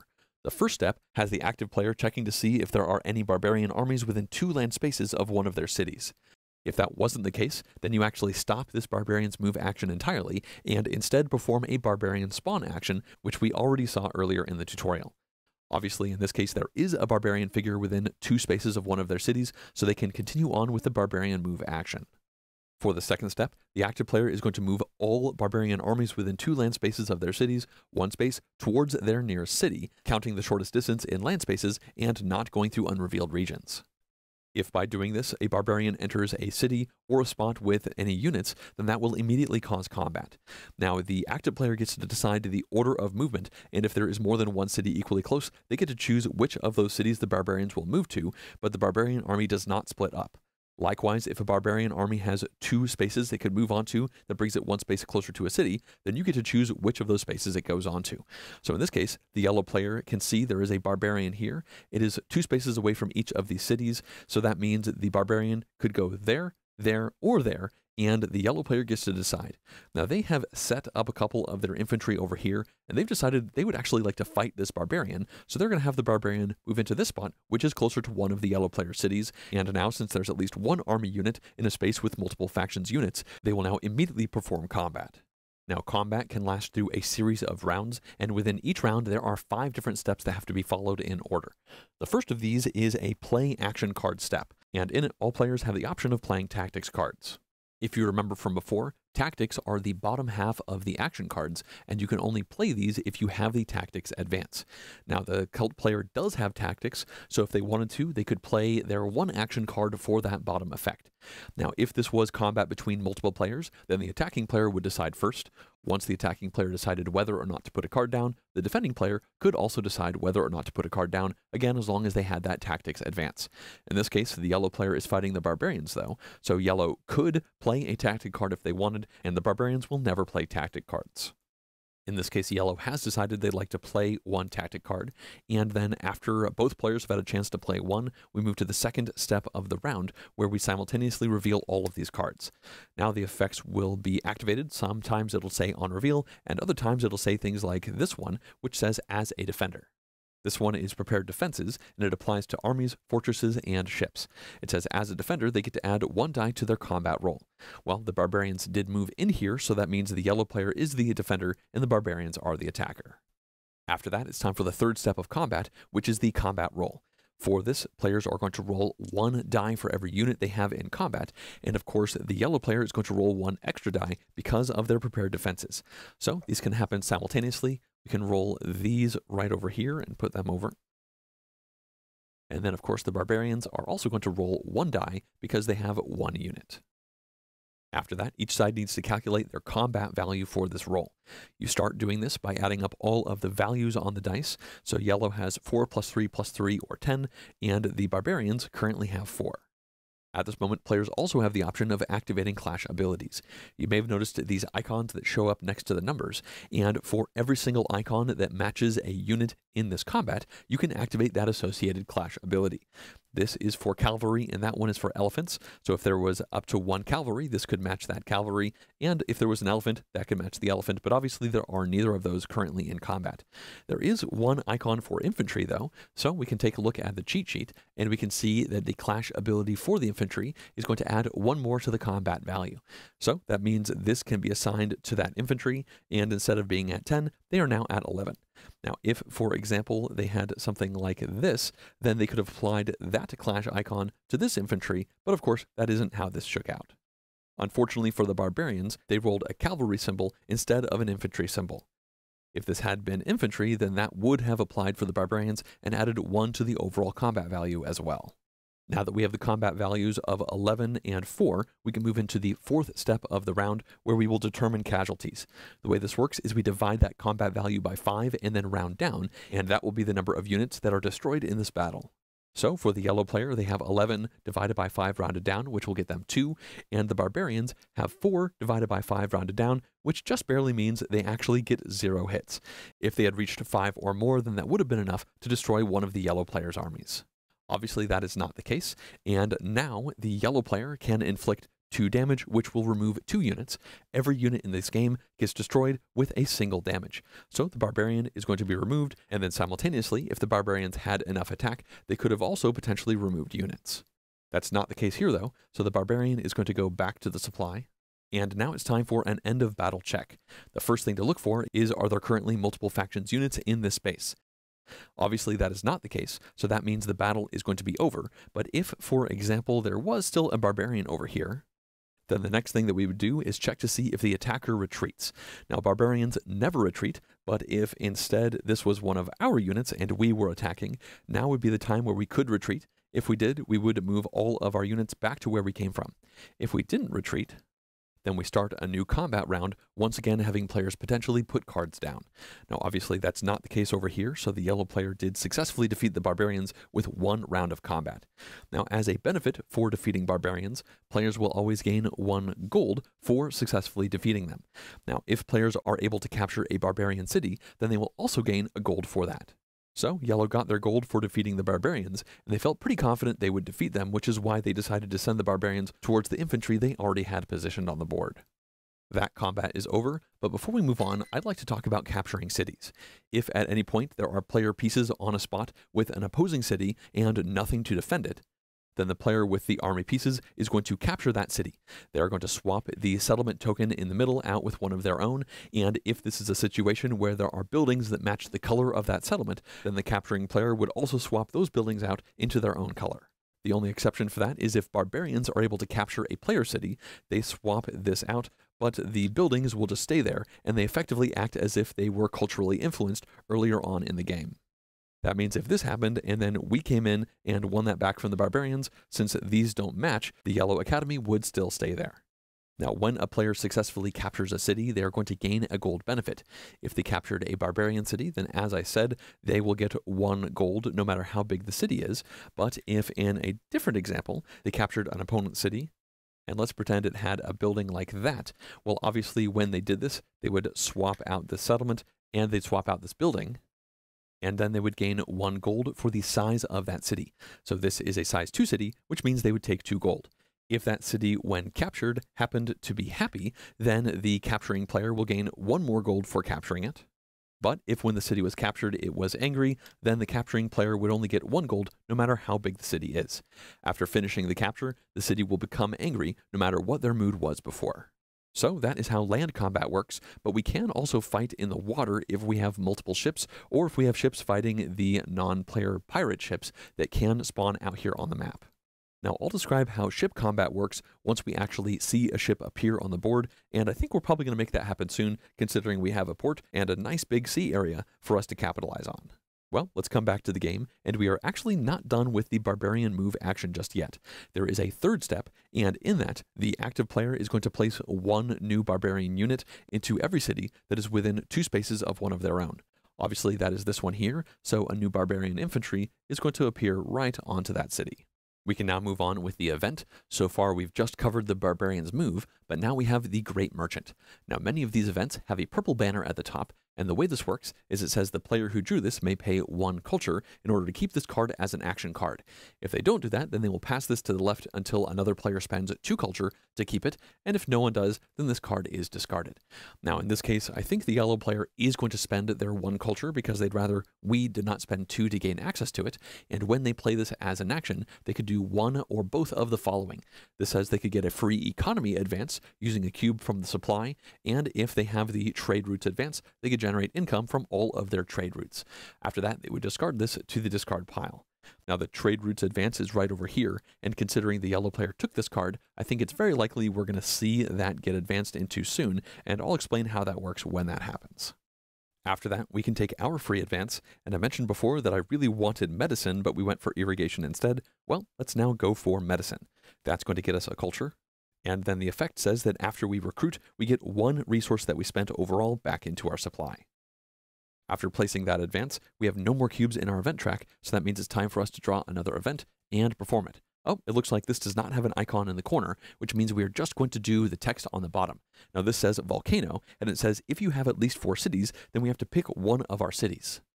After that, we have to destroy that picked city along with any units on the space, removing them from the board. Then we keep this card and we place all of the city pieces from that destroyed city on top of the card, and then each building and settlement is worth two victory points to the player who owns the pieces, in the case there happen to be other players' pieces on there due to cultural influence. Each wonder piece scores normally, but its powers no longer affect the game except for the Great Pyramids. So losing a city can be pretty detrimental, but remember each one of those pieces would have been worth one point at the end of the game, but when it's lost to this volcano, it becomes worth two, effectively because that city becomes a lot more famous and is known about in the world because of its destruction. Obviously, at this point, we only have two cities, though, so this does not happen, and we can simply put this into the discard pile. After that, each player can draw a new objective and action card into their hand, so these are going to be ours. The objective says focused on top. It says during the status phase, if we have more advanced categories in all four advances than any other player, excluding civilization advances, then we can take this. Currently, we don't have any that are completely full, but we have one that's one away, and our opponent also has one. So we can keep that in mind, but the bottom part is a combat related one. It says immediately after winning a land battle against a player with more warfare advances or against an army with more army units than yours, including the barbarians. So we could complete this objective if we have a particularly good fight that goes against the odds. The other card we got is an action. The top part says Teach Us Now. You can play this card after capturing another player's city, and it says we could duplicate one of that player's advances at no food cost. The bottom part is a tactic. It's archers, and you can use this with an army. And it says on reveal, you roll a die, and if you roll a 5 or a 6, your enemy immediately removes one army unit before making their combat roll. So we can add these into our hand. And now each of us have the option of raising a size 1 city, but I don't think either of us are going to do that. And after that, we can change governments. Up to this point, no one has actually gained a government, but I explained how those worked earlier on. So now the final thing we do is determine the first player for the next age.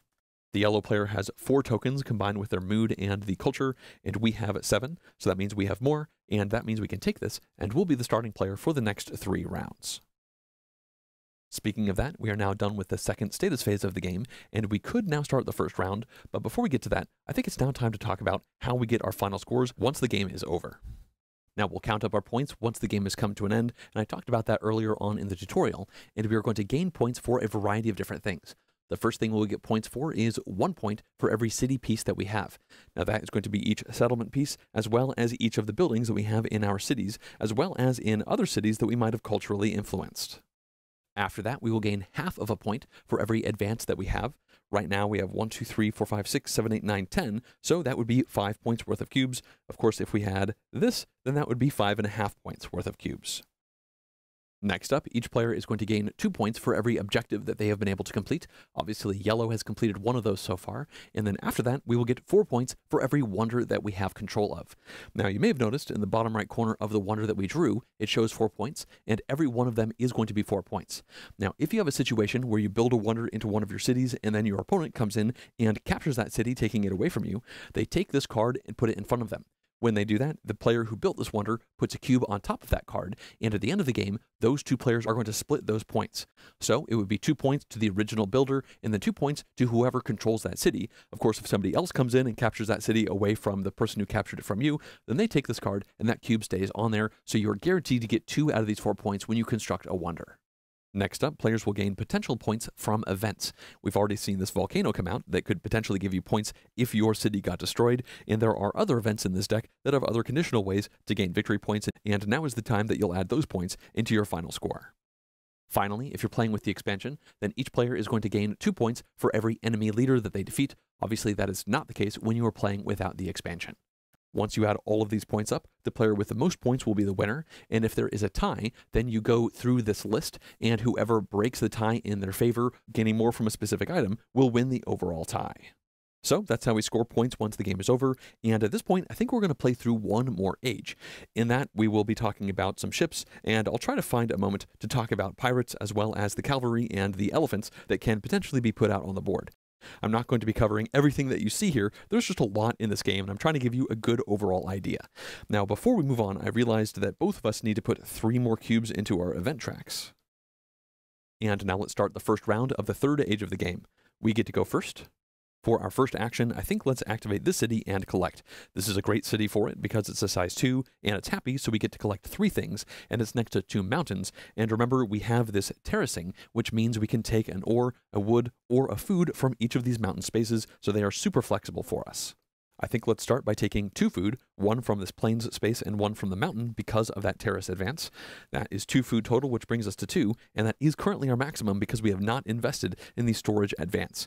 Now we can take one more resource, and I think we'll take an ore. After that, I think let's activate this city to recruit. It's a size 2 and it's happy, so that means we could recruit up to 3 things if we wanted to, but I think we're just going to recruit twice. The first thing that we want to recruit is going to be a ship. Now, if we look over here at the cheat sheet, it says that ships are going to take two wood, and you can only build them if you have a port. And in fact, you build them onto the sea space that that port is connected to.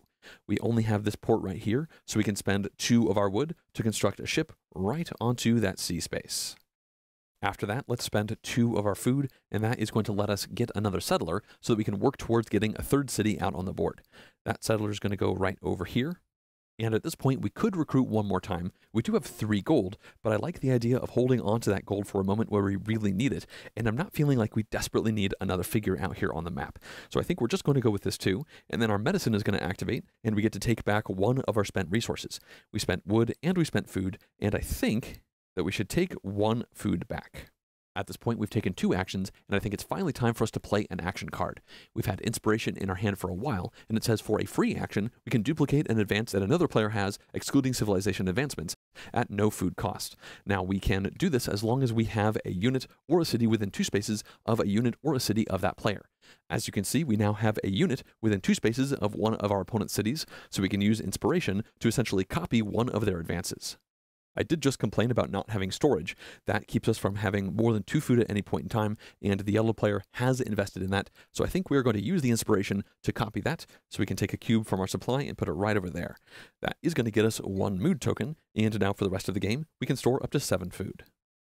Well, we have one action left, and I think we want to move. Again, this lets us move up to three of our groups, and we're going to start by moving this settler onto the water, specifically onto the ship. Now, each ship can hold up to two units, and a unit on a ship is going to be carried with the ship when that ship moves, and you can move a unit that has already moved. So with our second move, I think we will move this ship along with the settler, and we're going to go all the way over here. Now, the reason we can do that is because a ship can go as far as you want within a given body of water. Now, it is worth noting that you have to advance one space at a time, because if while you are moving you land into a spot that has an opposing ship or maybe a neutral pirate, then you have to stop your movement there, and then you will have combat between those two ships. Naval combat works very similar to land combat that we've already described, with the main exception being that when a ship is destroyed, all of the units are also destroyed, and any units that are on board that ship have no effect in the overall combat. Fortunately for us, the yellow player has not found a way to put this ship down, and we haven't bumped into any pirates just yet. There are event cards that can spawn pirates onto the board, and the icon for that looks like this. When that happens, you actually bring two pirates out onto the board, and you have to put at least one of them onto a sea space that's next to one of your cities. So, for example, that, and then you could put the other pirate out on the board wherever you like, and you'll probably put it next to one of your opponent's cities if possible. Now, I do want to point out that pirates only exist in the game when you're using the expansion content, and they are pretty pesky. You can't move through them without having to stop and fight them just like they were a barbarian. And also, when these pirates arrive, each player who has a city next to them is going to have to lose one resource, or one mood, or one of their culture tokens. If they don't have any of those resources to lose, then that city that's adjacent to the pirate will go down one overall mood level. Now, pirates are just going to hang out in that spot without fighting them and blocking resource collection on that location. Fortunately, we haven't bumped into any of these pirates just yet, and we can now come back to our move, where I think we are going to go from here all the way onto this spot. Now, this location is next to two uncovered tiles, and you are allowed to explore with your ship. In this case, I think we want to explore onto this area, which means we don't actually go onto it just yet. Instead, we flip this over, and the way exploration works with ships is slightly different. If it's possible to orient the tile so that the water connects to where the ship was going, then you must do so. So if this location or that location was water, we would have to prioritize doing that. In this case, that is not happening here. So the next thing we would check is by placing this like this, or that, are we connecting this up to other water? And it doesn't look like we are, so we can place it like this or that because the water will be adjacent to the edge in both options. I think let's place it like this, and then we obviously don't move our ship onto that spot. If this had been a sea spot, we would have done so. At this point, we are done moving because we don't have any other groups to move. This settler already moved because they went onto the ship, and obviously the ship has moved. So if we want to move this settler off of the ship and onto one of these spaces to potentially found a city, then we are going to need to take another move action in the future. So that move action is done, but before we move on, I'd like to point out this specific advance called navigation. When we focus in, navigation says that ships may move around the board to the next group of sea spaces. What that means is if we had this advance, then, when we moved, we could take a ship and move it obviously as far as we want within that sea space, but we can also go around the outside of the board and land on the next available sea space on the edge. Now, you're not allowed to navigate past unexplored terrain like this. Instead, you'd have to stop there and explore it, unlike what I just showed you here. So, navigation can let you really move around the board. Of course, there needs to be some sea next to the edge, but when we explore, there is a prioritization of putting the sea next to the edge that is secondary to connecting sea up to other sea spots. Obviously, we aren't there right now, but that's definitely something that we can keep in mind for the future. Well, we are done with our turn, so the yellow player can go, and they've decided to start by activating this city to collect resources. It's a size 2, and it is also happy, so they can get 3 resources, and they've decided to collect 2 food as well as 1 ore. After that, they're going to activate this city and recruit. They could recruit up to three times because it's a size 2 and it's happy, but they're only going to recruit twice. In this case, they would like to put two settlers down into that city. Each settler is going to cost two food, so they will go from four back down to zero. And I just realized that when they collected with their first action over here, there was an academy, so their public education should have given them yet another idea. They're up to five of those. They should certainly think about using those to do some more advances. At this point, the yellow player has one action left, and they've decided to play this event card that they got as an action. This is the Great Merchant, and it says that as an action, they can do one or both of the following. The first thing lets them get a free economy advance, and they can take one from their supply, and they're going to place it down onto trade routes. When they do this, they can also put a token down onto their Celt board because tribal trade matches up with trade routes. Now, I'll explain how those two work very soon, because the second part of this card says if they have the trade routes advance, which they do now, then they can generate income from all of their trade routes. After that, this is discarded, and with that in mind, let's take a look over here to see how trade routes work. It says at the start of each turn for the rest of the game, you gain one food for every ship or settler that you have up to four that can pair with a different non-angry enemy player city within two spaces. So you can pair up a settler or a ship with an enemy city and get some free food out of it. That enemy doesn't gain or lose anything from the trade. This can get even better if you advance into currency that says you can get gold from taxation and trade routes instead of other resources. Up here, taxation says that once per turn as an action, you can pay a mood token to gain a food, an ore, or a wood for every city that you have. So obviously, if you get currency with taxation, you could get gold instead, which is even better. Now, at the moment, the yellow player does not have a settler or a ship within two spaces of one of our cities, but they do have tribal trade over here because they are Celtic.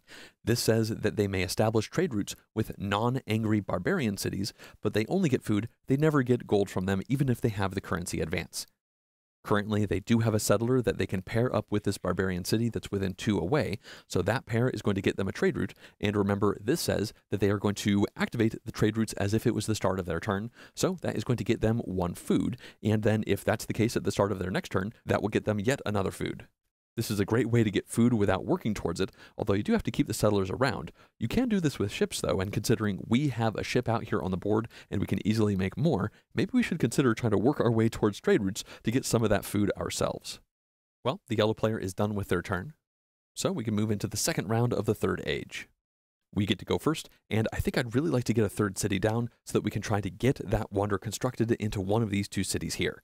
So let's spend one action moving, and we are just, I think, going to be moving this settler over here. We could move on to that spot and then explore this, I suppose. And considering there are these yellow infantry over there, maybe it's a good idea to put one more space between us. Yeah, let's go ahead and explore here. This will flip over and it doesn't have any water, so we can effectively put it like this or like that, and that doesn't make sense because you cannot build onto a barren spot. So I think we'll do this, the settler will go there, and then for our second action, let's found a city on this location. The settler can go back to our supply, we can then put a city right there, and then our Stelas will activate. We can take an idea, or we could take one culture when we found a city, and considering we have enough culture, I think let's take an idea to help us out getting some more advances without having to spend food. So that idea will bring us up to one. That's our first idea of the game. At this point, we have just one action left, and let's activate this city to gather resources. We will gain one, two, three resources, and I think we should certainly activate this spot with the port. That is going to get us one gold. And then after that, I think let's get an ore from these mountains and then a wood from this forest space. All right, that's finished our turn. This means yellow can go, and they'll start by activating this trade route right here between them and this barbarian spot. Remember, normally you cannot trade with barbarians, but the Celtic player interacts with the barbarians far more than the other civilizations in the game. So that one pair is going to get them one food, and for their second action, they are going to advance. They're going to use two ideas to do this, and they want to advance into draft. That has a blue border, so they will get one culture. And the effect of that says that when they recruit for the rest of the game, they can put a single infantry down by spending one mood token instead of the normal one food and one ore. So that is a nice discount, especially if you have these mood tokens available. But then in addition to that, they also get to advance into tribal allies. That does say draft right over here, and now it says for the rest of the game, one time per turn as an action, they can do a spawn barbarian action as if they had pulled that event card. Remember, this places a barbarian city down onto a location two away from one of that player's cities, and then you put one barbarian unit onto that city. In addition to that, it says after triggering a barbarian's move event, they can pay one food to prevent any barbarian armies they want from moving. So they could spend food to stop barbarians from invading in ways that they don't want. Of course, spending food isn't great, but that lets them keep those barbarians in check, which is especially good if they decide to start spawning new barbarians in their area. They're somewhat incentivized to do that now, considering they have tribal trade, so they could use this to put more barbarians out there to establish trade routes to then get more food at the start of their turns. Yellow has one action left, and they've decided to advance again. They're going to spend two of their ideas, and they're going to advance into nationalism. This is the first government advance that we're seeing in the game, and remember, they can only do that because they have the prerequisite advance that is one space above. When we focus in, it says after they do a recruiting action of at least one army or ship, they will gain one mood or one culture. Now, they are already incentivized to recruit infantry because they can do that once per recruit for one mood, which means if you do that with nationalism, that's effectively a full rebate for that one infantry. Yellow is done with their turn, so that means we can move into the third round of the third age, and we, of course, get to go. So we can take our turn, and we don't actually have this navigation advance. Now for this turn, I think I want to construct this wonder. We've been working towards it all game long, and maybe this isn't the right moment for us, but I just want to make it happen. This needs 5 ore, 4 wood, 3 food, and 5 culture, and we still need a decent amount of resources to pull that off. So let's spend our first action activating this city. That is going to get us 3 resources. This port can get us 1 gold, and then I think let's take 2 wood.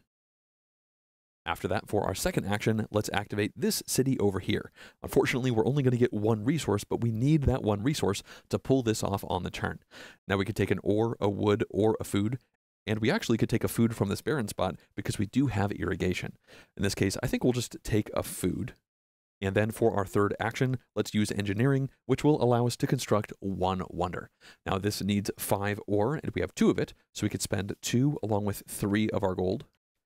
Then we need four wood, and we have three, so we could spend three of it plus one gold to make up. And then we need three food, and we have two, so we could spend these two and one gold, which means we've spent everything except for our ideas in order to build this great arena right now. Now, this does also cost five of our culture, and we've got six, so we can spend five of that back to the bank. And then we can take the great arena from the supply and put that next to one of our happy cities. Now, technically, this is a city activation action, and we activated this city right here. And again, we could do this to bring it up to a size 3 because we do have three cities out here. Now, that arena is going to stay there for the rest of the game, and we also will get 4 points for it at the end of the game as long as we still control this city. In addition to that, we have a couple of benefits. The top thing says we may spend our culture as if it was mood, and vice versa, except when you are spending culture in order to construct more wonders. Now that's great. We currently have just one culture, but we have ways to make it, and mood is also good for a variety of things as we've seen. In addition to that, the Great Arena will give us a combat effect for as long as we have it. It says after any combat roll, we can spend one of our mood or one of our culture to add plus one hit once per land battle. So we could use that to get up to a number that is divisible by 5 to deal 1 more damage, which would remove 1 more unit, and that can be a pretty big swing in the heat of battle. So that wonder is constructed and we can put this face up in front of us. And then we also can complete this objective. Remember, if it says status phase, then it only happens during the status phase. But this one also says immediately. It says on your turn, if you're the only player to have constructed a wonder, then you can complete this objective. We have indeed done that. So this is two more points to us. So by constructing this wonder, we've just gained six points for the end of the game. Also, this is now a size 3 city, so in the future, if we activate this to collect resources or recruit, then we will collect 4 resources or be able to recruit up to 4 units in that spot.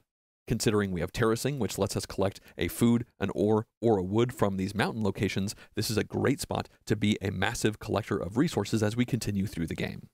Well, that's finished our third action. It took our entire turn to pull this off, and I'm really happy to get that wonder down on the board. This means it's now time for the yellow player to go and they've decided to start with a move action. They'll begin by moving this settler over there. They're going to split these up so they can explore onto this tile. It does have some water, and if they spin it like that, it will connect up to other water, so they're forced to do that. That unfortunately means the settler is going onto a Baron's spot, so they won't be able to build a city on that location. Now they can move up to two more of their groups, and they've decided they're going to leave one of these infantry behind, but they'll move the other one onto this mountain spot. Remember, when you go into a mountain spot, you cannot move any farther. So that was a one move done. And if they do another move action, they cannot move this infantry because they're stuck in the mountains until their next turn. Before they take their second turn, I just realized they actually forgot to activate their trade routes. At the start of their turn, they did have a pair of their settler and one barbarian city using their tribal trade advance. So they should have gained one food from that before they actually took their first turn. Now for their second turn, they've decided to activate tribal allies. Again, this says once per turn as an action, they can do a spawn barbarian action as if they had just played an event icon. So they are forcing a spawn action, and remember this has to go exactly two spaces away from one of their cities and no closer than two spaces to any opponent's city. Now they could put this right here, that would make it two spaces away from our city and theirs, but that is the only land space essentially cutting off one half of the map to the other. That means in order to move troops from here down there, which they might want to do to try and capture some of our cities, they'd have to go through this barbarian area. Now, if they did that, they could capture this city and turn it into one of theirs, which is not necessarily a bad thing, but they also like the idea of having barbarian cities out here that they can trade with. Now, I think they're actually going to do this. Another option would be going over there, but they like the idea of potentially capturing this city in the future. Next up, they have to put a unit into that city, and then after that, they have to place a unit into any barbarian city of their choice. I unfortunately made a mistake of this the first time we spawned. We put one down, but we did not put another one in. Now, in the combat that resulted, the yellow player did roll enough hits to fully wipe out those barbarians, but considering another die would have been rolled, the yellow player would have certainly lost one of their units in that fight. So in order to try and fix that mistake that happened quite a while ago, let's remove this unit right here because it should have been two yellow versus two barbarians. And remember the barbarians had just four combat value. So by rolling one more die, which they should have for having one more infantry, they would have had a minimum of plus one. So that means one of these would have been destroyed. It's possible that both of them would have been, but there's only so much corrections we can do for mistakes like that. Sorry. So, coming back to this spawn event, the yellow player can spawn into this spot or that spot, and considering we are playing with the expansion and there's already an infantry in each of those, if they wanted to, they could put a cavalry down into that location or an elephant. If you're not playing with the expansion, you simply put more of the barbarian infantry units down. Well, now is a great time to talk about the cavalry and elephants to see if yellow wants to place any of those down. If we look at the expansion side of the player aid, we can start with cavalry. Now, to start, if players want to recruit cavalry, they have to have a market in that city. The same goes for the elephant, and you can unlock building a market by going into bartering. The yellow player has already done that, but they have not spent the time to construct a market into one of their cities. If they did, though, they could then recruit a cavalry and or an elephant into that city. Looking back at the cheat sheet, you can see that when recruiting these, it is going to cost one food as well as one wood to recruit cavalry, and it's just two food to recruit an elephant. Now, looking at the combat effects for the cavalry, we can see they roll one die in combat like normal, and then the clash effect, which happens when you roll a horse head when you're in this combat, is going to be adding two to the combat value, which is, of course, one better than the clash ability for the infantry. So cavalry have a better chance of doing extra damage in combat. Looking down at the elephant, we can see they roll one die in combat just like everything else, and the clash ability, if you have a elephant head roll on a die in combat with an elephant, lets you cancel one hit that comes in, but you have to disregard the combat value of one of your rolled dice. Obviously, you would disregard the worst die that you rolled, and absorbing one hit coming in is effectively like negating five combat value from your opponent. So the cavalry are slightly more offensive, and the elephants are slightly more defensive. In this current situation, Yellow has decided they would like to try and put pressure on us, so they are going to spawn a barbarian cavalry into that city. So that means in the future, if we do a Barbarians Move event, these are going to move closer to our city, and obviously this cavalry makes it more likely that we will suffer damage. Of course, if the yellow player pulls a Barbarians move, it would head towards their city, but remember their tribal allies effect lets them spend one food to stop the movement entirely of a group of barbarians. Well, Yellow is now done with their action where they were able to spawn a barbarian city, and as you can see, they can now have a trade route pair with the settler and that city. So at the start of their next turn, as long as it looks like this, they can pair these for a food and pair those for a food, so they are now generating two free food at the start of each of their turns.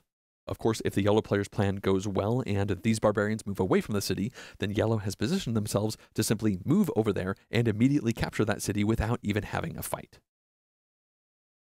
Well, yellow has one action left, and they're going to spend an idea as well as one of their food, and with this, they are going to advance. In this case, they've decided they would like to go to fishing. That is going to unlock the ability for them to build a port, and considering you can do trade routes with ships and there's a long piece of water that could get their ships close to ours, they've decided they'd like to make ships to get more out of those trade routes. So, in the future, they now can build these ports, and also they have the ability to collect food from sea spaces. At this point, they've once again cleared their event track, so they have to immediately perform an event. In this case, that is going to be a good year. The first thing that happens is an exhausted land, though. This means they have to take one of these exhausted land tokens and put it adjacent to one of their cities on a location that is not barren and that also has no units on it.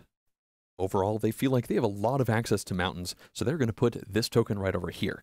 That means for the rest of the game, no cities can be founded here, and it's impossible to harvest resources from this mountain spot.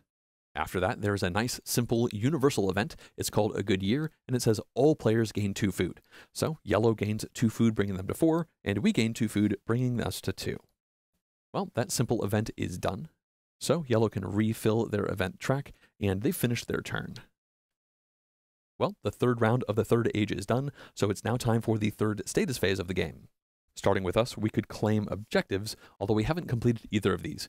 We still have just one advance in maritime for the seafarer, and the focused says we have to have more advanced categories with all four than any other player. We have two of them that need just one to have four, and our opponent has none. So that means if we had advanced into sanitation or husbandry instead of perhaps medicine, then we would now be able to get this focused. But we are still in a position to, I think, get this done before the game is over. Now, of course, each of these does have military aggression type options at the bottom, but so far in this game, we've been avoiding making any armies at all. We've mostly been focusing on building and constructing a wonder. Up here, the yellow player has three objectives, but they have not completed any of them. After that, we each get a free advance, and I think the best thing for us is probably bartering. That not only lets us discard a card to get a gold or one culture, and we do have some cards that we might not get played. For example, this Teach Us Now requires us to capture a city, and I'm not sure if that's going to be happening.